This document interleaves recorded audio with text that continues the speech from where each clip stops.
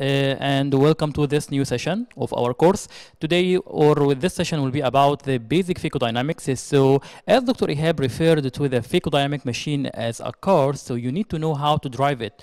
This is ex- exactly the same mo- uh, model or same example we are referring to. When what uh, what are you looking for when you are trying to purchase a car or to drive a car? Apart from the price, you would uh, need to uh, think about the performance. So, is this car is having the best engine and the best performance or not?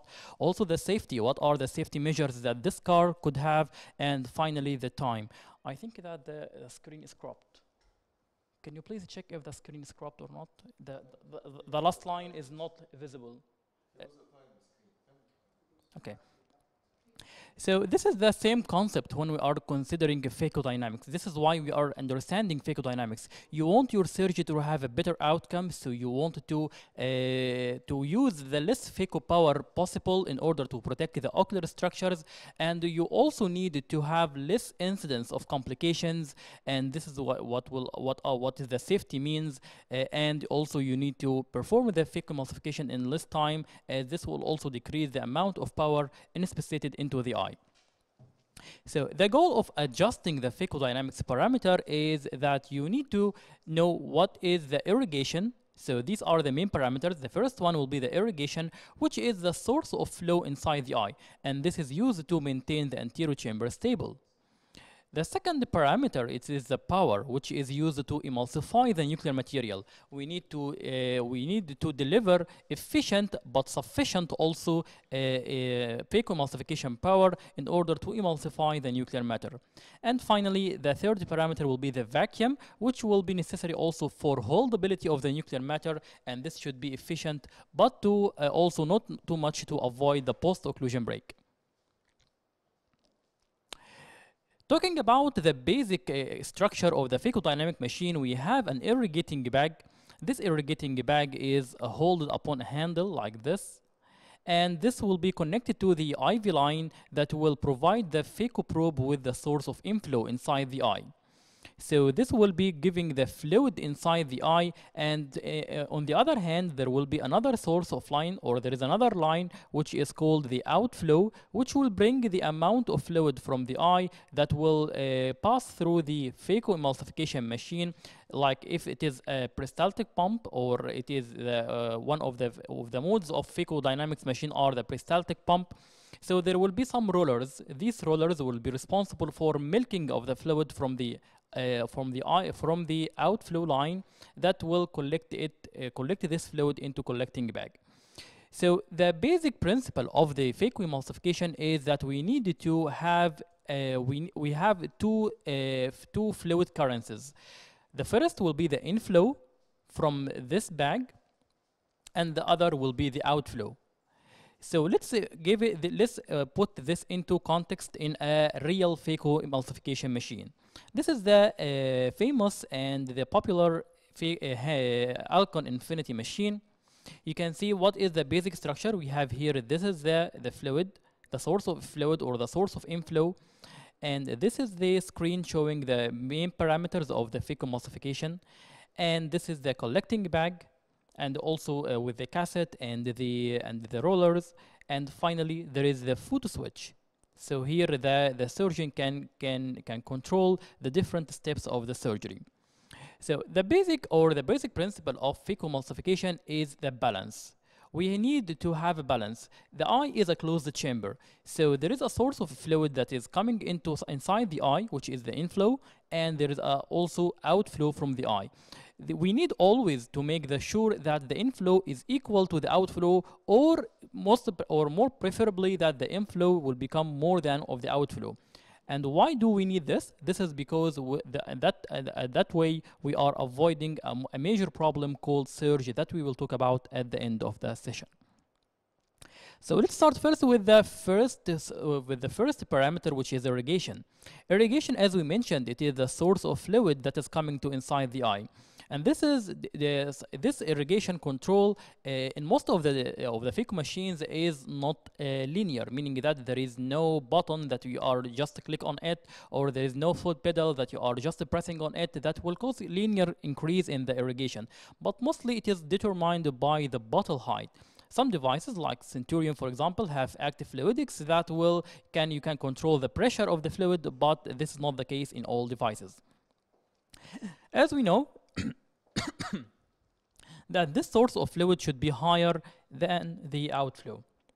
And why this? This is because that the uh, decreasing inflow inside the eye will have some problems. For example, like the wound burn. You know that the phaco, uh, phacoprobe will, uh, is pr producing some sort of energy. This energy causing heat and this can damage the ocular structure, can cause burn of the, of the endothelium. So the, what, what uh, the, the, the virtue of this irrigating fluid that it will pass, it will cool the phacotip as it passes through the, uh, uh, beneath this sleeve, causing a cooling of this heat effect. So you may think of, okay, why wouldn't we always increase the bottle height to the maximum and why wouldn't we uh, always increase the inflow maximum to the maximum level? This is because that the increasing the inflow more than necessary also has its hazardous effects. So we don't want a high pressure jet flow to enter inside the eye because that this can cause damage to ocular structure. So this sometimes when you have a high jet flow entering inside the eye, this can cause damage to the endothelium. And also you can find sometimes that the nuclear matter are repelling. They are uh, are giving away from the, your phacotip. And you wonder why, but the, the, the, the, the answer is that the flow, the flow is what make the nuclear matter repulsion. Also, the, those who have myopia, especially those who have high myopia, already have high, uh, have deep anterior chamber, and this will also, if you are uh, uh, increasing the bottle height, you are causing further deepening of the anterior chamber, which will make it unstable. So avoid high bottle height in myopes. The second, uh, the second parameter will be the aspiration flow rate. The aspiration flow rate is the, the uh, is the rate of fluid removed from the eye. So as we said that there is some sort of flow inside the eye, the, the, the, the counteract or the, the counter effect will be some sort of fluid that's coming out of the eye. And this aspiration flow rate will determine the speed of events that occur in the eye. Let's say that you want that everything in the eye, this is the, uh, the, the, the amount of fluid uh, aspirated from the eye, and you want that everything inside the eye occur by slow motion. When you want to everything to be slow motion, what you need to do is just to decrease the aspiration flow rate. There is a misconcept that when we are uh, talking about the speed of events inside the eye and I can't find that the nuclear matter are coming toward my phacotip, then I increase the vacuum. This is not true, as the vacuum is responsible for holdability. On the other hand, the aspiration flow rate is the, is the, the parameter that is, that is bringing the nuclear material toward the phacotip. So if you want everything to become faster, so you want to finish the surgery faster, then you increase the aspiration flow rate. But this is not without complications, but or it is not without a cost because this also can can make uh, events, even the adverse events happen faster. Like if the phacotip attract the posterior capsule, it will be faster, maybe more, uh, maybe faster, uh, more than the way you are you will be able to handle. The aspiration flow rate in case of the phaco-dynamics machine uh, that's acting by peristaltic pump will be uh, based on rollers. So we said that there will be rollers that are causing milking of the outflow tube, causing drawing of the fluid from the eye into the collecting bag. So as we, if we are increasing the aspiration flow rate, this will increase the speed of these rollers and vice versa. In some devices, you might find that the aspiration flow rate uh, have some fixed control and linear control. You can find that the, this is the fixed and this is the linear. And so why do we need a fixed and why do we need linear? Sometimes when you are uh, dealing with a quadrant removal or a sculpt, this is uh, we'll, we will we need a consistent and the predictable flow attraction. Uh, on the other hand, if we like, for example, if we are epi, uh, removing the epinucleus, this is require more control. So we need to make that it is linear. As we, uh, the more we depress, the more we get aspiration flow rate, and the less we depress, the less we get aspiration flow rate, and this will be important uh, to guard against rupture of posterior capsule. The third parameter will be the vacuum. So the vacuum is the negative pressure inside in the aspiration line. Meaning that like any vacuum, when you have a vacuum like the vacuum cleaner and you are cleaning your carpet, this, ca this vacuum cannot uh, uh, uh, remove the dust from the carpet unless it is very, very close to the carpet. And this is the same thing that happens with the vacuum of the phaco machine meaning that in order to uh, to to uh, to, to build up the uh, to ultrasound power there should be an occlusion the, the tip should be occluded by the nuclear material. And what will be responsible for this occludability? This will be the vacuum. So the vacuum will build up once there is occlusion of the phaco tip and we don't need more vacuum than necessary. So just not to be confused about the two terms of occludability and holdability, what brings the nuclear matter to the phaco tip is the aspiration flow rate while what makes the uh, the the the phaco tip having good grip and good hold of the fake of the nuclear matter so that it can move freely in the anterior chamber and it can like for example you want to move it to in order to shop it by the second instrument this is what is the rule of the vacuum so the aspiration means that how quickly nuclear material is attracted to the tip, while the vacuum means that how tight is the tip holding the nuclear matter once it is occluded. There is another important pa parameter or important uh, thing about the phacodynamics, which is the tubing. You can see here, if you are if you are closely observing these tubes, this is the outflow tube and this is the inflow tube. You can see by in the first instance that the outflow diameter is more than the or the inflow diameter is more than the outflow, and this is expected. As we said, we want always that the inflow becoming more than the outflow to avoid the surge. But what uh, what what I wanted to draw your attention to is even the thickness of the tube you can see that the thickness of the outflow tube is more than that of the inflow. So is it on purpose? The answer is yes. Because the, the thickness of the tube will be responsible of what's called the compliance. What is meant by compliance? The compliance is just to be affected by external pressure. And we don't want the outflow to be affected by external pressure as this will can cause what's called surge. So the problem is what's called the post-occlusion break. When we have, if the, we have a, a, flexible tubes or we have a, a compliant tube, this compliant tube will collapse upon the high pressure of the outflow. So the problem is not within the collapse, but after or but after the break of the collapse. As after break of the collapse, this will cause uh, the flexible tube to swell and, uh, and remove large amount of fluid from the eye, causing loss of the pressure inside the eye and rupture of posterior capsule. So let's uh, illustrate this in more details. If we have here a phaco and it is occluded by the nuclear matter, what will happen? If the tube is compliant this will cause the increasing the negative pressure inside the tube and the tube will collapse. And what happens then after removing of this nuclear matter or after emulsification of this nuclear matter this tube will expand. And this expansion of the tube will draw much more fluid from the eye causing the surge. So the surge is meaning that it is a, an event in which there is the inflow less than the outflow. And this can be uh, uh, determined by the several factors like the tube size as we just mentioned. We want the tube size of the outflow to be less than the inflow and we want the tube size of the, the tubes of uh, the, uh, the aspiration to be uh, non-compliant.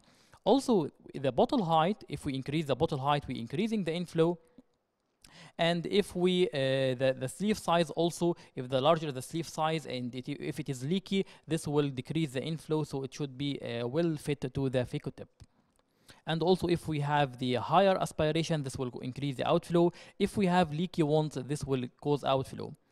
To, let's just see this video where there is uh, you can see that there is a momentary constriction of the pupil this momentary constriction of the pupil occurred due to the surge. There is, this surgeon have, uh, has this uh, anterior chamber unstable and this is evidenced by this momentary constriction of the pupil leading to uh, this uh, can predispose to uh, side effects like rupture posterior capsule or damage to the corneal endothelium.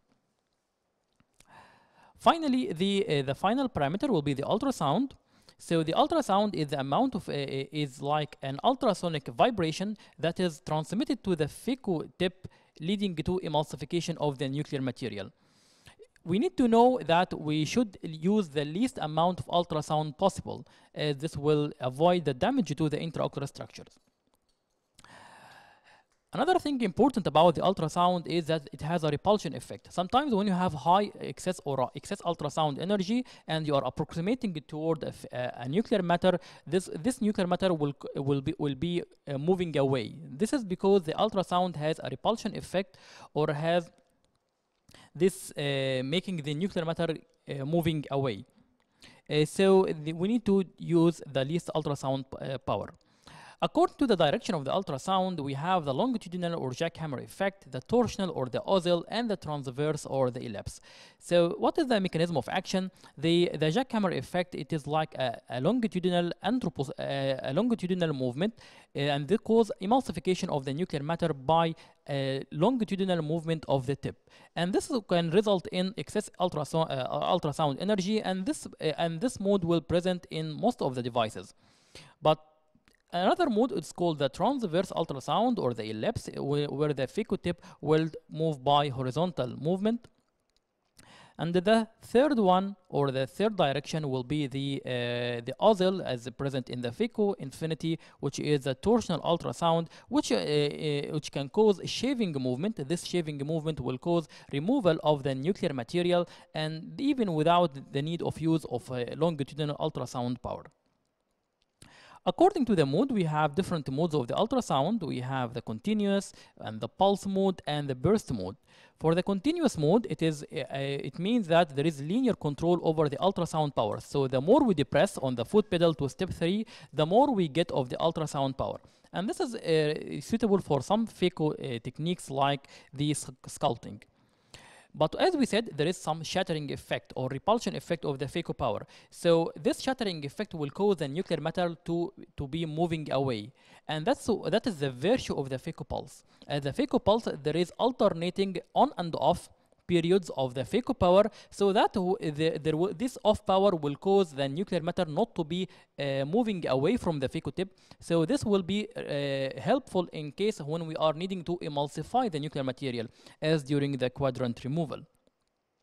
The third mode is called the phaco burst, and the phaco burst there will be also alternating on and off, but the time between on and off is decreasing as we uh, increasing the depression on the foot pedal on step three. So the the phaco power will be in pulse mode at the start, and at the end it will become at continuous. So this will be uh, more uh, useful for experienced surgeons where they just use one mode to handle all the steps of the surgery.